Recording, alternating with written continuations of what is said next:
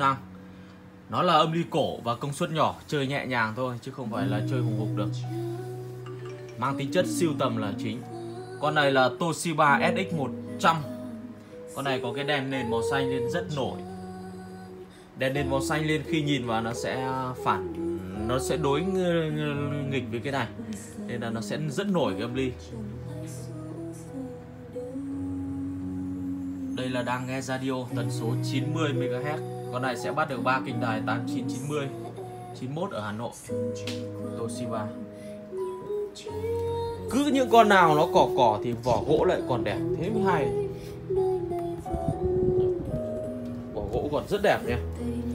Chút nữa tôi sẽ đặt nốt cái con kia lên. Qua con kia tôi đã quay rồi.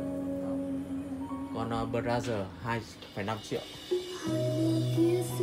Quay đằng sau để các bác tham khảo Xin nhắc lại là mang tính chất siêu tầm thôi nha. Nghe nhẹ nhàng, đơn giản thôi.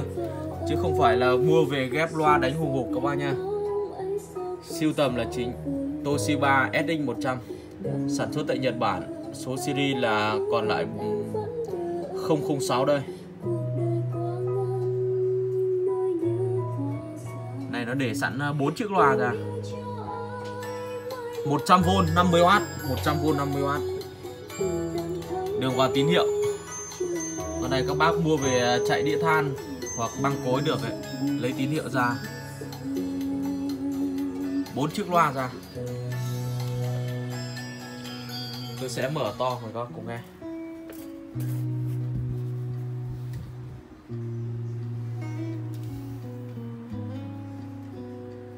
Volume đây. Đây là đa radio nhá. Chuyển hệ hẳn những trước thì xong. Hay là lúc nào xanh xanh xong thì ở những tuần nó vẫn còn đó. Ở cái vùng âm đạo thì nó có thể là nó sẽ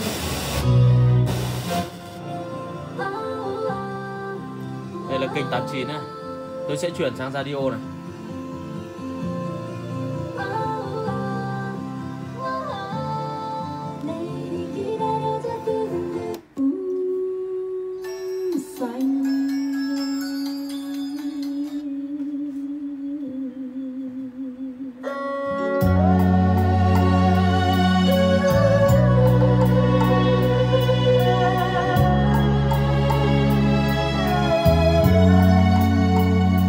người ơi. Ngoài ra còn đưa vào nhạc là đường tép nữa bát chép cân loa ba trái này. ba phải này. nếu phản sang chế độ bốn loa thì phải để bên này các bác nhá. Bát chép. chờ để nhạc màu son trên đôi môi. Tôi kể rằng Vâng, các bác đợi chút tôi sẽ đặt nốt cái con đồng ly kia lên để cho các bác có sự lựa chọn. Xin chào. 2,5 triệu giá bán thanh lý, lấy tiền vốn còn không xong nhá.